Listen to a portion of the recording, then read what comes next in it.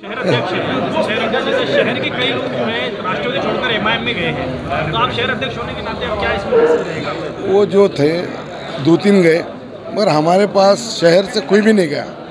एक दो तीन पहले, चार महीने पहले गए थे, मगर हमारे जो खासदार साहब है, उसको आज ओपन करे। उसमें तीन ही थे।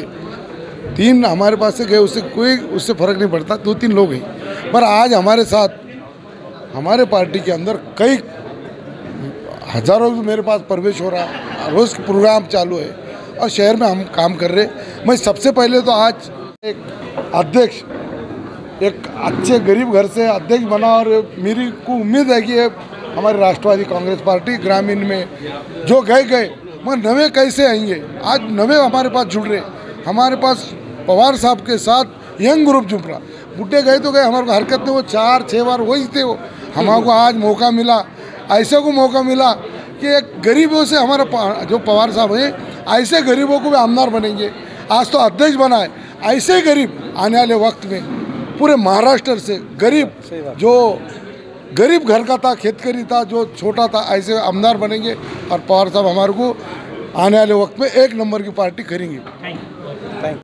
सबक बताइए क्या हाँ? पत्रकार परिषद किस विषय पर ली गई है? ये पत्रकार परिषद इस विषय पर लिए गए है। क्या मेरी कल राष्ट्रवादी कांग्रेस पार्टी ने औरंगाबाद जिला ग्रामीण का जिला अध्यक्ष बोल के नियुक्ति की है। इस बारे में मैं नया जिला अध्यक्ष बना हूँ। ये हमारे ज़िले में मालूम होना चाहिए और मेरे काम का क्या एजेंडा है। मुझे राष्ट्रवादी संगठन बढ़ाना है। इसके लिए आह्वान मुझे लोगों से करना है उसकी अपील मैं कर रहा हूँ। और जो कार्यकर्ता पक्ष छोड़कर हमारे गए कुछ तो उनके कुछ वजह है तो उनके लिए मेरी एक विनंती है कि वो सब कार्यकर्ताओं ने और रिटर्न पार्टी में आना। और कुछ दिनों के बाद ये औरंगाबाद जिला में राष्ट्रवादी कांग्रेस पार्टी एक दमदार मज़बूत पार्टी बनाने की कोशिश हमारी क्या क्या चुनौतियाँ हैं? हमारे सामने ये चुनौती है क्या जो हमारा राष्ट्रवादी कांग्रेस पार्टी एक संघ थी इसमें विभाजन हुआ है। और विभाजन होके कोई हमारे कार्यकर्ताओं, कोई नेता, ये अजित पवार साहब के साथ में वो गठ में चले गए ये हमारे सामने चुनौती है क्या ये हर किसी को लग रहा है कि अभी ये राष्ट्रवादी की पार्टी में कोई सच्चा नहीं, इनका कोई ये नहीं। तो ये हमको सबको दिखाना है, ये काम करके हम आपको दिखाएँगे। अच्छा अभी जैसे कि हर बार हमने सुना था कि राष्ट्रवादी का विरोधी पार्टी बीजेपी थी।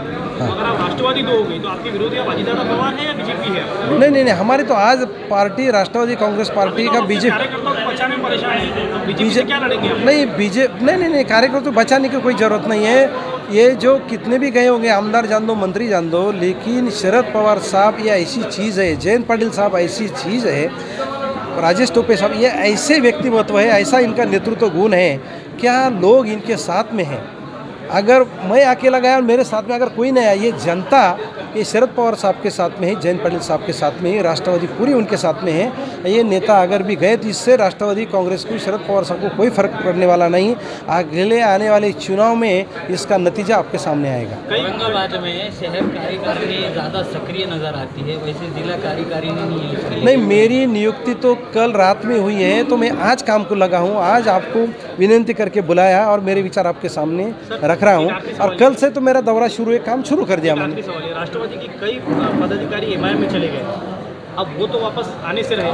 फिर आप कैसे उन लोगों को आप अभी थोड़ा सा मौका मुझे दीजिए आज मेरा पहला दिन है। मुझे एक महीना डेढ़ महीने का मौका दीजिए। कितने कार्यकर्ता गए वाले रिटर्न आएँगे ये मैं आपको अगली पत्रकार परिषद में दिखाऊँगा। सामने खड़े। और दूसरी बात है बहुत सारे हमारे कार्यकर्ता गए, मुझे फ़ोन चालू है, संपर्क था। आप जिला अध्यक्ष अगर बनते हैं तो हम रिटर्न आते हैं। ऐसे लोगों का प्रवेश करके आपको मैं दिखाऊँगा।